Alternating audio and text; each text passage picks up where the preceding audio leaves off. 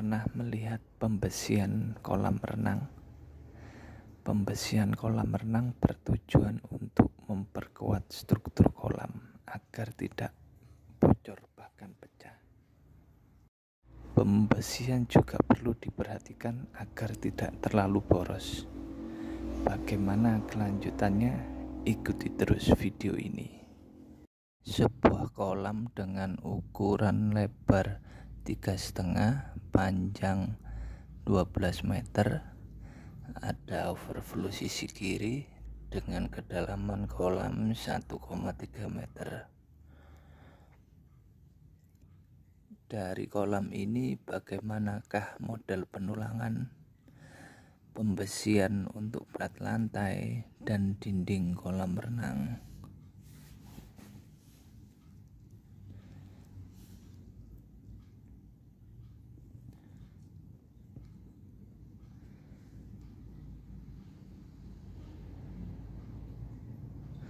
untuk penulangan plat lantai menggunakan deform 10 jarak 150 atas dan bawah. Sisi panjang yang sisi melintang sama menggunakan deform 10 jarak 150 atas dan bawah. Deform adalah tulangan ulir dengan seluf. Ada seluf 2040 2045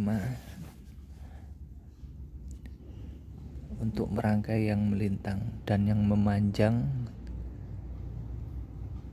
dengan ukuran 245 yang melintang 245 dengan jarak antar seluf 290 350 350 235 ukuran as as dinding 1225 sedangkan sisi melintang as as dinding 375 dengan asluf 187,5 dari ini kita potong memanjang AA dan juga melintang BB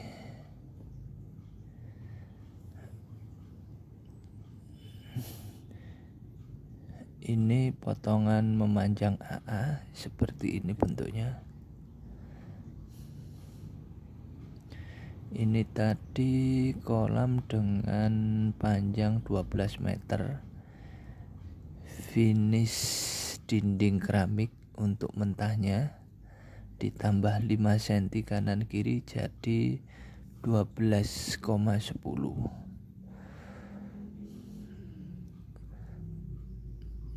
untuk penulangan lantainya tadi kita pakai deform 10 jarak 150 baik yang memanjang maupun yang melintang. Deform adalah penulangan ulir besi ulir.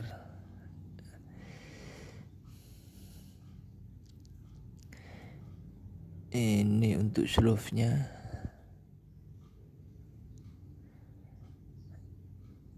Plat lantai juga ukuran yang sama ini juga deform 10 jarak 150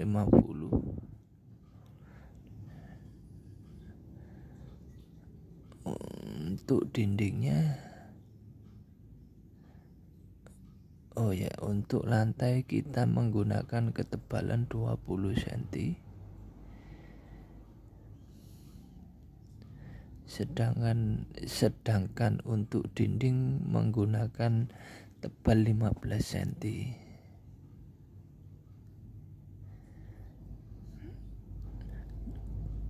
dengan menggunakan tulangan vertikal pakai tulangan 10 polos jarak 150 sedangkan untuk yang horizontal pakai deform 10 jarak 150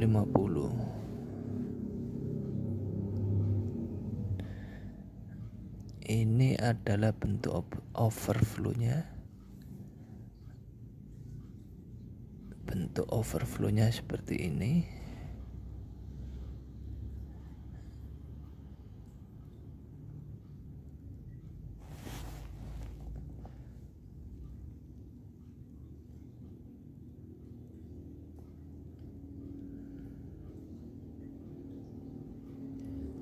dengan lebar 40 rong. Dengan ketinggian 50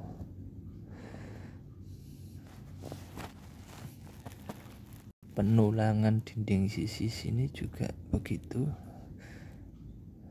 Yang vertikal menggunakan besi 10 polos jarak 150 sedangkan horizontal menggunakan deform 10 jarak 150 ketebalan dinding 15 cm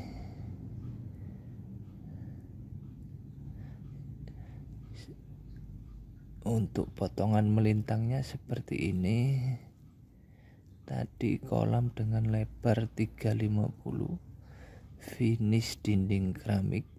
Jadi kalau mentah ditambah 5 cm kanan kiri jadi 360 untuk penulangan lantai melintang dan memanjang memakai deform 10 jarak 150 ini juga deform 10 150 ini seluf-selufnya sedangkan untuk dinding kanan kiri sama tebalnya 15 untuk penulangannya vertikal menggunakan diameter 10 polos jarak 150 untuk penulangan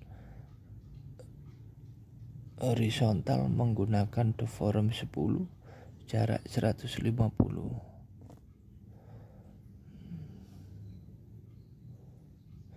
dari sini penjelasan di gambar. Langsung kita lanjut penjelasan di lapangan seperti apa proses pembesiannya